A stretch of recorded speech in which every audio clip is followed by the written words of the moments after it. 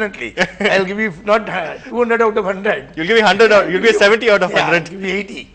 But there, I mean, Saidai Duraisamy, the man who actually, I mean, uh, you know, It's very funny. yes, very witty and, and you know, Yeah, and also, point is, look at it. Uh, he is seeking the cooperation of the media. which is a very good thing. I Uh, mean, to- for which the is very unusual in the sense, coming from Puratchi Thalaivi's uh, stable, uh, she is always shunning the media, she is avoiding the media, and uh, the mayor has uh, an appeal to the media. I think that's a good thing that there's no us Yeah, and them. that. There's no us and them uh, Yes. sort of mentality, Yeah. but you know we're all in it together. Yeah, that's true. Uh, again, uh, when he says there's no G Boomba kind of formula, one agrees with him that a mayor cannot really. A mayor may have the ceremonial robes, but, a mayor does not have the magic wand of a mayor. Some firefighting has to be done. Yes.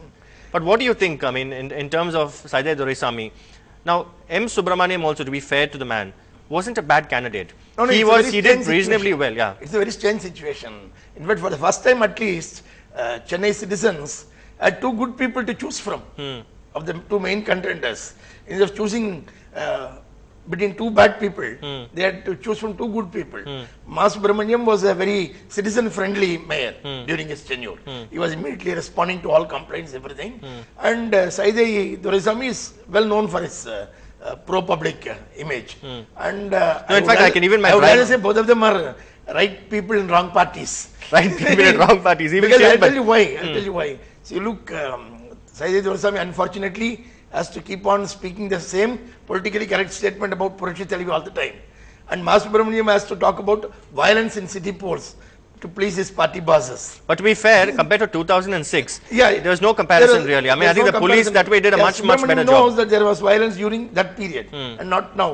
But because he is in DMK, he has to talk like that. And it's very unfortunate that But there's no way you can actually insulate mayor candidates or mayors from the political parties they belong to. They have they've been voted on the strength of their parties because even here, people have realized that if you don't really vote a mayor from the ruling party, then you're not likely to get your work done because you need the support of the no, government that itself is a very bad situation. In the sense, it means the ruling government in, in the state will not help the corporation if it is uh, headed by a rival party, Hmm. which itself is wrong. The administration has to go on, irrespective of which party is in power where. All right, let's also now go across to Pratiksha Ramkumar. In fact, uh, the reporter who's been covering every little twist and turn from 6 in the morning, and Pratiksha also getting us the mayor there at Loyola College. Pratiksha, what's the latest? What is the latest count? Uh, well, Sanjay, they haven't really given us the 9 o'clock update. We were promised an update by about 9, 9.15. In fact, we are looking at a final result by about 9.45, 10.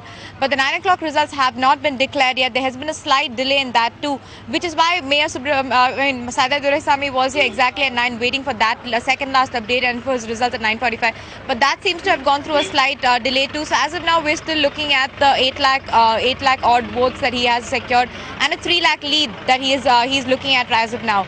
We don't have a latest, but we are expecting it any time now.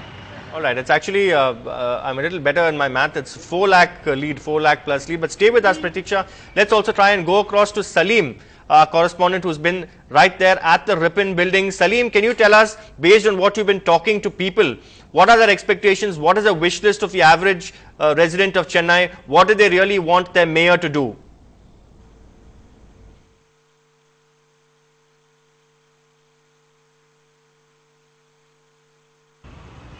Let's discuss the top three priorities.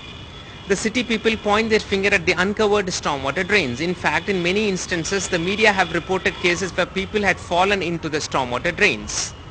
As far as suburban Chennai is concerned, there are no sufficient stormwater drains. As a result, rainwater is stagnating on the roads, making it breeding ground for mosquitoes. Secondly, the road design, uh, road design is not in consonance with the Indian Road Congress rules. We come across many unauthorized speed breakers and in many cases even uh, in uh, uh, many roads which were laid recently are getting washed away with a, with a single shower. Thirdly, sanitation. The people strongly feel that proper collection and disposal of solid waste is, is very important.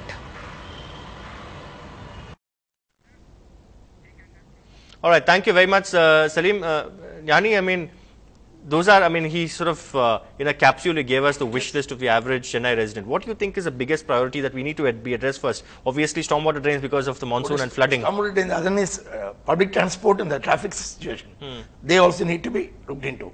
We are still waiting for the metro train and the monorail, which Jayalalitha has promised, they have to come.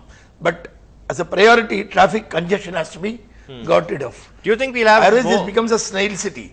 See, an ideal situation would be to have the focus on the accent on development rather than politics. Now, whatever little opposition there is in the co- co- council, Yes. do you see fireworks uh, here in this in this forum as well? Uh, yes, there will, there will definitely be fireworks because DMK is a, uh very bitter loser this time. Uh, they have lost the corporation for the first time in the recent years. ADMK is making it to the Chennai Corporation as the mayor for the first time. Yes, in fact, they came to power capturing Chennai Corporation way back in 50s. Hmm. But now they have lost the corporation, so it's going to be very bitter for them. And for the ADMK also, Gnani, what does this mean for its urban vote base? Because we saw that I think the ADMK in the, the assembly election five months ago won 14 out of the 16 assembly uh, constituencies in Chennai. Yes.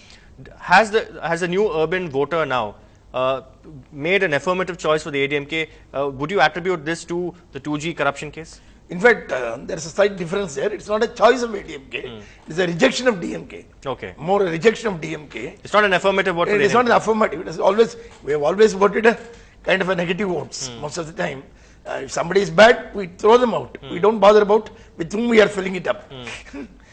Again, with, I, I asked uh, Satya of course, apart from the G, G Boomba comment, he also said, I can only laugh and I couldn't smile at this question about any possible uh, shuffle in uh, the set of officials Definitely, in the Chennai. Corporation. Because there was a time when you had uh, veteran officers, I mean, stalwarts like uh, uh, L.M. Menezes, were then special officer of the corporation many, many years ago. I must have been in was. TV, I must have been in school at that time. But uh, uh, here again, I mean, Karthikeyan, anyone would say, be it Rajesh Lakhoni in the past or Karthikeyan now, outstanding officers, you can't really fault them. And during Do you Stalin's need to, period, Radhakrishnan was there. Radhakrishnan was there, absolutely.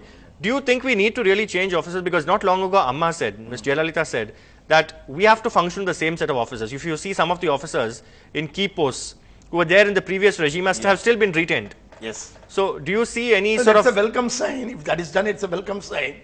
For the sake of efficiency, the And continuity also, yes. But there are certain officials, bureaucrats, hmm. who identify themselves politically and become hand in glove Hmm. with the corrupt politician. Such officials have to be weeded out. That do you see? Do you see the any sort of uh, uh, a reshuffle in? I expect a reshuffle. Okay. And I would prefer Saidai Duraisamy choosing his Radhakrishnan.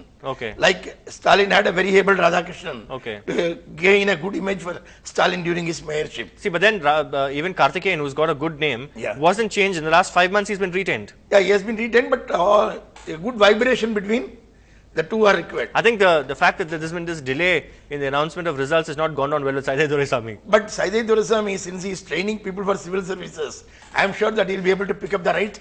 The right bureaucrat. people, yeah. Absolutely. Yeah. Uh, let's finally go across to Pratiksha. Pratiksha, what is the mood? Is has the celebration started well and truly?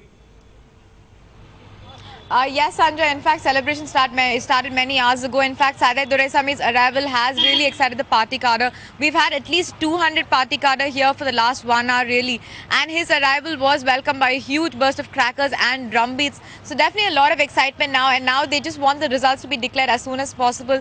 They have followed Saidai Duraisamy into the actual voting room, where uh, where the counting room, where results are being announced. So uh, they, I think the room is will now be overflowing with party cadre, and they will just be waiting for the results to be announced. All the other candidates who have been monitoring the counting procedure left about two hours ago. So definitely that room is completely an AIADMK room right now. A lot of happiness. Uh, Pratiksha, my source tells me that you just managed to get uh, some sweets offered by the IDMK jubilant workers there. Tell us more about that. It reminds me of uh, the Tansi Court judgment in the Madras High Court many years ago when I was doing a live phone and I remember an ADMK worker stuffed a laddu into my mouth when I was going live and I had to literally swallow that. What's been your experience there? Well, definitely Mysore Pas are always welcome for, by all of us, Sanjay. We've had a very, very long day today. So definitely a congratulatory Mysore Pas, celebratory Mysore Pa is welcome by all of us. And yes, we did get a bit of the sweets.